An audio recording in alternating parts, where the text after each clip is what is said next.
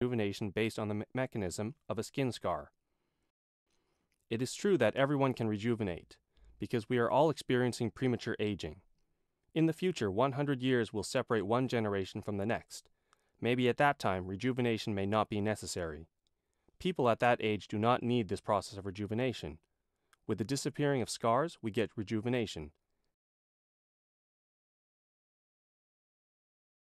This is our model. Somatic cells in the scars were transformed into stem cells to rejuvenate scars. This is really true, I swear, though it is unbelievable to get the stem cells from somatic cells from a scar. Recently, the result was repeated and verified again in Hunan Medical University, one of our clinical research bases, and also in the People's Hospital of Hunan Province using the same procedure. I said they are the first batch of repeaters. Rejuvenation is achieved with removal of scars through the transformation of somatic cells into stem cells. See this picture? Such a large scar on the face has disappeared. Imagine that a small scar in a heart with a myocardial infarction accompanied with CHD. It would be much easier for it to be regeneratively restored. Until now, both lung fibrosis and liver fibrosis can be regeneratively restored and rejuvenated. This is no longer new and has an application history of more than 10 years. Now, the National Medical Network of MEBO has included this part as routine therapy. Now we come to external organs. Our human body organs can be divided into internal and external parts. See these pictures of external body? Do you see the difference? Is it rejuvenation? On the left is a face at 55 years old, while on the right is a face at 60 years old. Is the appearance on the right much younger? Of course, cosmetology can make our skin finer and smoother, but the regenerative restoration of external organs does not only mean that of appearance. What we do is rejuvenate the whole face deep into the muscle level.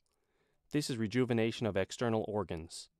You can see our technology has lifted up all the muscles in the face. The frontalis became tense, so did the eyebrows. When you are old, your muscles will be flabby and droopy. The person looks more spirited since her eyebrows have been lifted. Have you seen my pictures just now? Have you seen them carefully? Look at my eyebrows. They were droopy five years ago and they are lifted now. Look at this picture. Which part of her cheekbones became higher? The cave part is now elevated. Now the muscles in the cheekbone are elevated to the original position. See her ears, just like facial muscles, will drop as her age increases. The ear is in the left picture has drooped. See closely. The ear in the right picture have been lifted up compared with the left picture. Also, the muscle in the ear is lifted up. Look at the muscles around the mouth. They have been lifted up and constricted. As a result, the nasal lip line is also lifted up. We often say a smile makes a person look 10 years younger.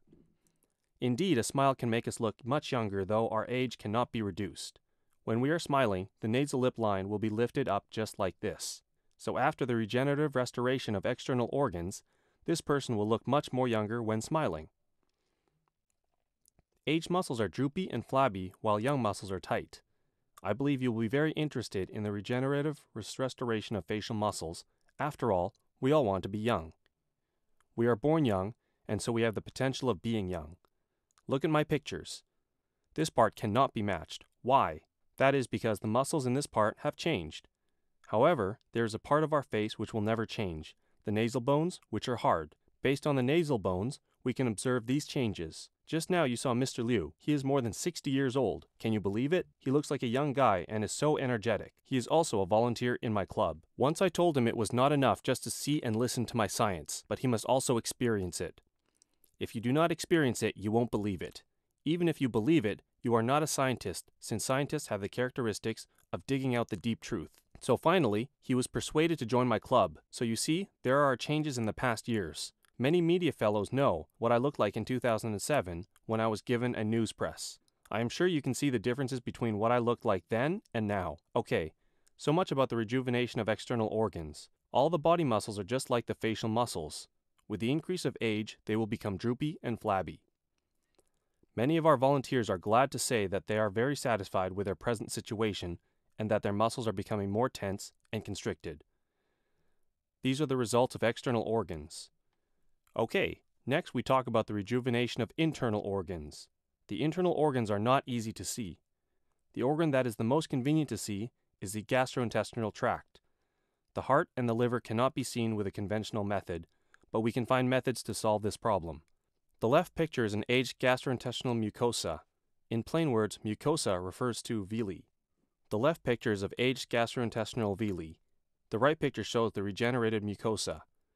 This side is lifeless, while the other side is vigorous.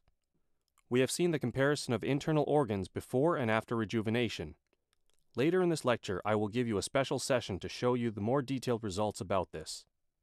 We know that some internal and indirect organs are difficult to see, but some technologies such as special imaging techniques, isotope technology, and ATP energy distribution can be used to monitor the rejuvenation of the body's organs.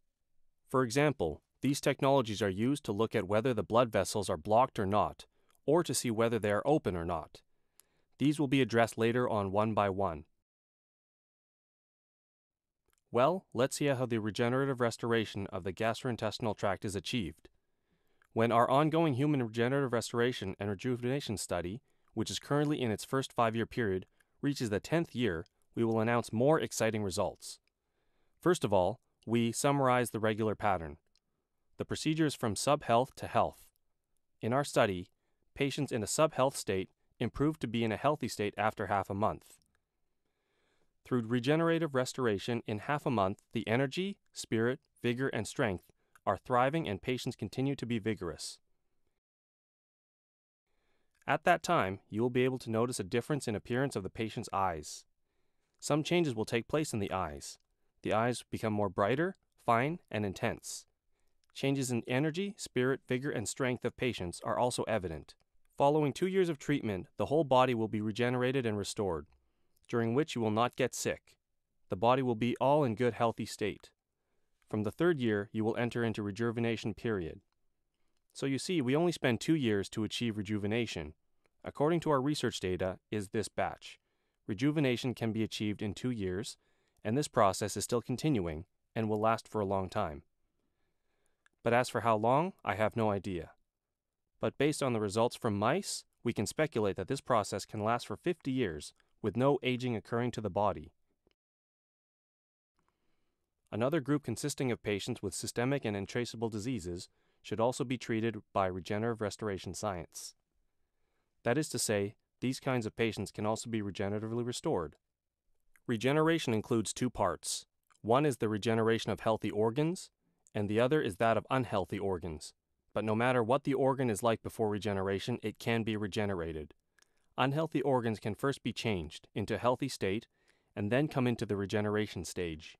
But now, even though some diseases have been regeneratively retreated, such as high blood pressure, uterine fibroids, and lung fibrosis, which can be restored in about three years, we cannot give a defined time to achieve rejuvenation. The law hasn't been formed yet. However, the rejuvenation law and procedures for healthy and sub-healthy people have been established. No doubt the value of human being regenerative restoration science will be very great. So you can imagine how tremendous the value of life regenerative science will be. You know, it will bring a priceless new life and a new world to human beings. However, there is a price for this regenerative substance. Even though the product is expensive now, later on it will cost as much as a breakfast does. With little money, you can achieve rejuvenation.